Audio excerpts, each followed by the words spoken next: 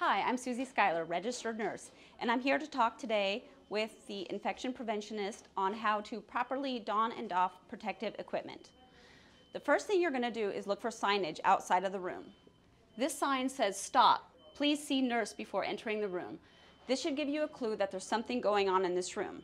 The next thing we're going to look for is this sign. This sign says droplet precautions. This sign will let you know that before you enter this room, you need to put on gloves, gown, mask, and goggles. We'll have Shadow, our infection preventionist, show you the proper way to put on PPE. Hi, I'm Shadow, infection preventionist, and I'm getting ready to give care to a patient on droplet precautions. First thing you want to do is sanitize your hands. When sanitizing your hands, it's very important to make sure that you cover all areas. You want to get the top of your hands. Make sure you get your thumbs between fingers. And don't forget your fingernails. Once your hands are dry, you can start to put on your PPE. You want to carefully open your gown and discard the plastic.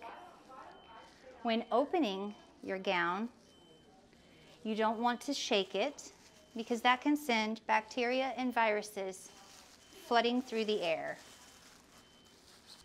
First, you'll slide in your arms, making sure to put your thumbs through the stirrups. This will prevent your gown from being pulled up. Next, you'll want to place over your head and this is a really important part that you'll see more why once we are taking it off. When you tie your gown, you need to make sure that you pull it tight. If you don't pull the gown tight, when you go to take it off, you'll find yourself stretching the plastic instead of breaking it. Next, we will put on a mask. These are ear loop hospital masks. And if you're not sure which side goes to the top, you can hold it to the light and you'll see there's a metal bar. Take the loops and pull them back over your ears. Touch only the top where the bar is to pinch and only the bottom. You want to remember not to touch the front of this mask. When getting goggles, you want to make sure that you have goggles that fit you properly so that you can be protected. There are two types. One type like this one to go over glasses and another type for those that don't wear glasses. It's important that the plastic comes all the way down and covers the side to protect you from any droplets flying.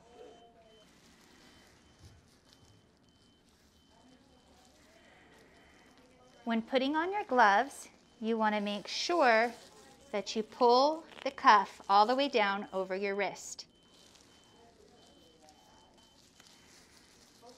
I am now properly protected and ready to give care to my patient. Each patient in the isolation room will have dedicated equipment just for them. If there are two people in the room, ensure that the curtain is closed between them at all times. When Shadow is ready to leave the room, the PPE comes off prior to her leaving. So we are using our CDC example number two for doffing our personal protective equipment. In this example, we take off the gown and the gloves together. The trick to doing this is you want to grab right here where you tied very tightly. Bunch some of the material up, grab it, and you're going to pull down and away from your body. At this point, fold over the top of the gown, keeping it away from your body, and gather it up into a bundle. Remember, this side and this side are clean. They were against my body.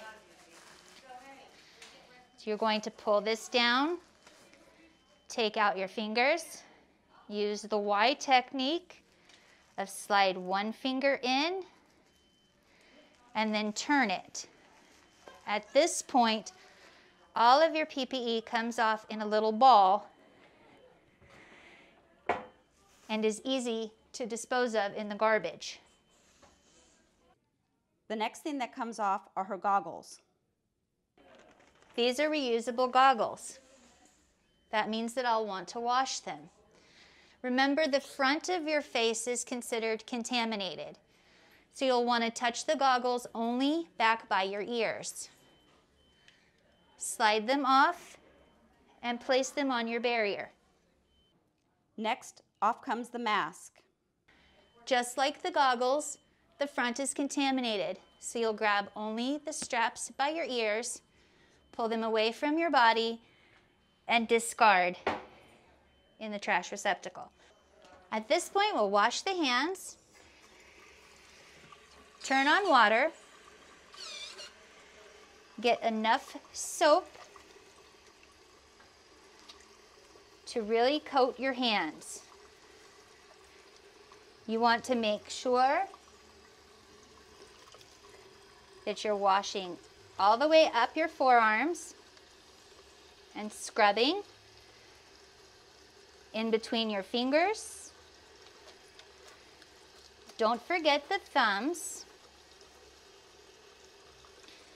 fingernails,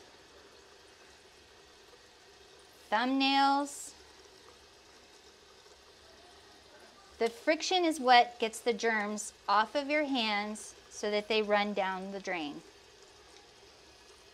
You want to do this for a minimum of 20 seconds or singing the happy birthday song twice. When you rinse your hands, you want to rinse from the top down. Do not flick your hands in the sink. Take the paper, start at the top, and dry down. Use your paper to turn off the water. In the event that an N95 mask is needed, you will still put on your PPE the same exact way. The only difference is you'll be using an N95 mask. And Shadow's going to show you how to put it on and take it off. First, you'll want to take your glasses off and put them on a clean barrier, such as the paper towel. Next, you'll take your N95 mask, which has been fit tested so that you know which size to wear. The difference between this mask and a surgical mask is that it is necessary for you when putting on to touch the front of the mask. First thing, you need to bring the two straps to the front and you, you can see the side that's the top because you'll have the little bit of a bend here. Take the mask, put it up to your nose, push it back, grip with your fingers to close down, and pull back under the chin.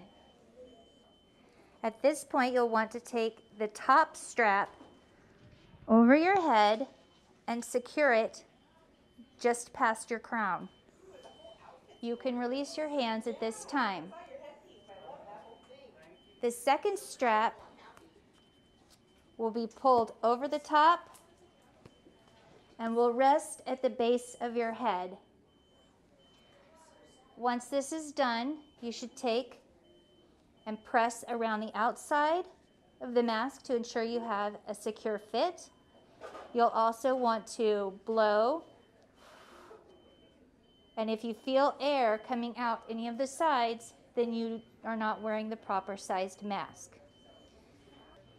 Once you have finished taking care of your patient and you are still inside of the room, you'll take off your PPE in the same steps as described earlier. The difference is now you do not want to touch the front of your mask because it's contaminated. Same as before, you'll grab the back of the strap with your fingers. Take the bottom one off first, bring it down, making sure not to touch the mask. Then you will grab the top strap back by the ears, lean forward a little bit, and carefully move the mask away from your face. At this time, you can discard the mask if it is disposable. This concludes our demonstration of donning and doffing protective equipment. If you have any questions, please contact your facility's infection preventionist. Thank you.